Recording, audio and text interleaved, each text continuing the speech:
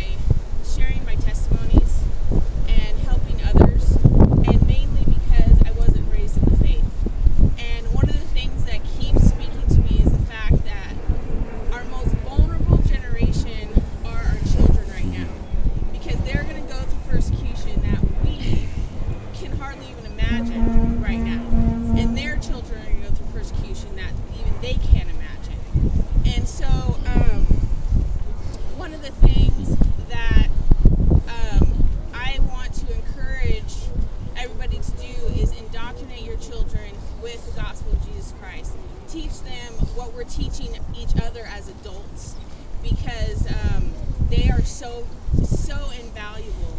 And you know bring them in out of the, the nursery school on sundays into the church for the meat you know? Um, i think that a lot of children get raised up on milk for so long that they miss the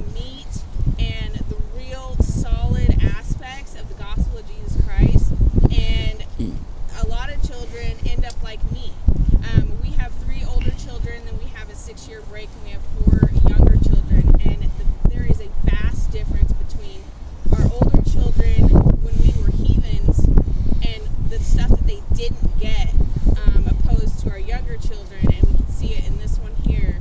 And we have uh, three more coming up behind him that are raised in the ways of the Lord, and there is a stark contrast between the two.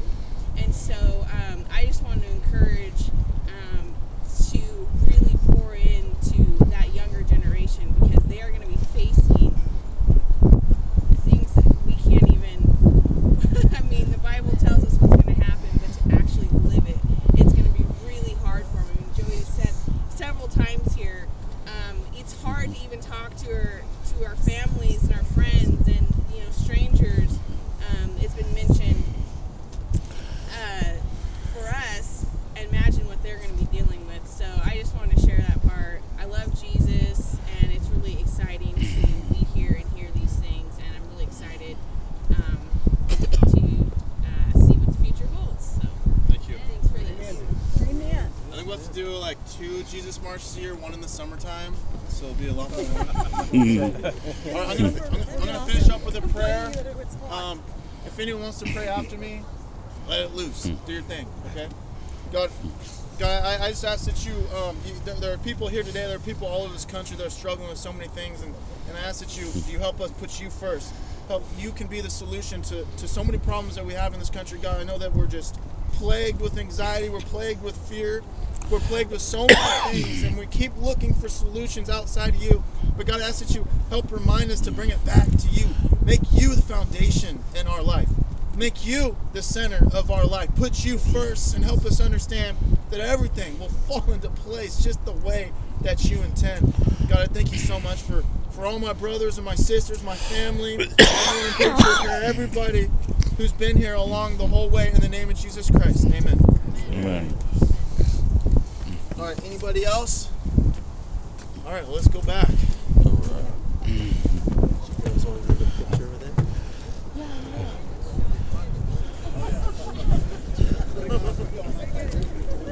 That camera throws me off every single time. It does. It does. I, I don't know what it is. I just start shaking and I can't see and I get dizzy and I forget what I'm talking about. I don't know. I have a fear of cameras. But you can say get, fears, right? Yeah.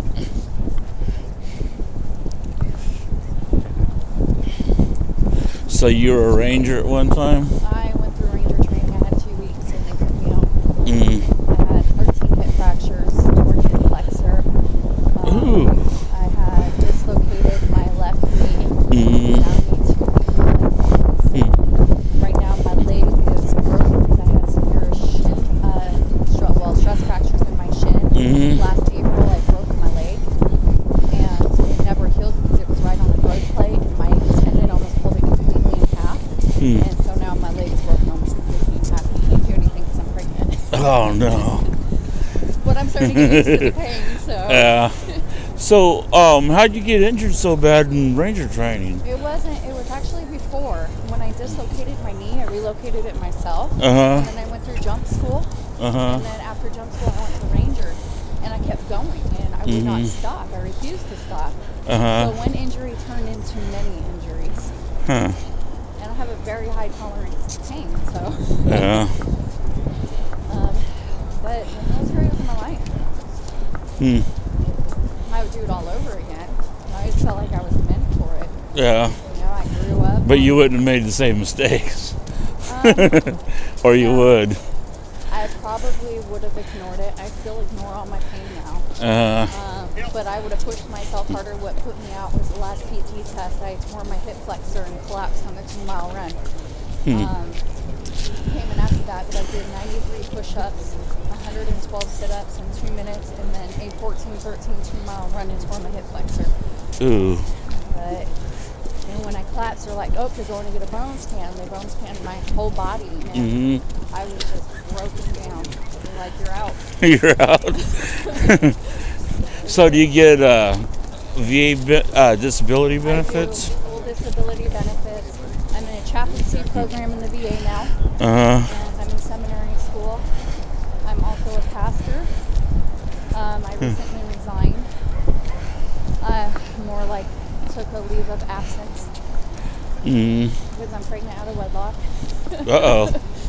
Yeah. well, I was seeing some. We were, we were celibate the whole time, and it just happened, Uh huh. and didn't work out. Yeah. And So what we did wasn't here in Christ, and he started seeing somebody else. Huh. So I kept the baby, Yeah. which I don't mind. Fifth child, so. Right. I'm used to it. but there's almost a 10 year difference between my youngest and this one. mm. Oh, so you got another kid too. I have four others, Whew. almost all teenagers. um, besides my son, he, he'll be nine soon. By the time the baby's born, he'll be almost 10. Yeah. Well, Well, I- I'm having another girl, so I'll have four girls and one boy. Yeah, I came out of the mil- of came out of a military family, but I wasn't mili- but I was never in the military. My uh, grandpa was in World War II. Um, he was in the airborne, and assuming. huh? I said army, then I'm assuming. Yeah. and um, he, uh, um, uh, they wanted to move. They wanted to give him a battlefield uh, commission, make him a lieutenant, and he said no. First lieutenant, second lieutenant. I don't know. I just heard he was gonna. They were gonna make him lieutenant. He said no. He refused the uh, commission. I would see, was he enlisted? Yeah, he was a sergeant. So, okay, so they wanted to they wanted to put him from green to gold then, from Yeah. enlisted to officer. Yeah. I would have said, well, see, I wanted to be a chaplain, and I wanted Mhm. to serve enlisted first, but most enlisted don't want to be an officer. Yeah. Um, they will as once they become, in, you know, enlisted first. Uh. But then you go have those that will just go to college and then go right into the enlisted. hmm Well, see, my grandpa's thing was that he didn't want to be moved from where he was at. He was airborne. Uh-huh. He liked jumping out of planes. He liked shooting at Germans and stuff like that. Um, it, as soon as they, uh, as soon as they make you an officer, they move you and put you somewhere else. And he didn't want that. Well, yeah, you move every two to three years, but even going as an officer, they're still airborne. You could be tied to an airborne unit. Yeah, you could. Um, as long as it's in a contract. that makes a lot of sense. and then um, my dad was in Vietnam in the Air Force. Yeah, I should have gone Air Force. No, I'm joking. Probably want to be out eating now. Uh, They pay you to sleep in hotel rooms. uh, and then they paid my uncle to sleep in uh, jungles. My dad was in the Air Force. My dad, my ground, my uncle was in the Army. My uncle was Special Forces. Oh, Huh? too old for special forces. to sleep. Special forces. the stuff that he told me about, you know, you're sitting there and all of a sudden there's an enemy division that just showed up and you're like, oh no. Yeah. I wanted to take a picture down by the waterfront.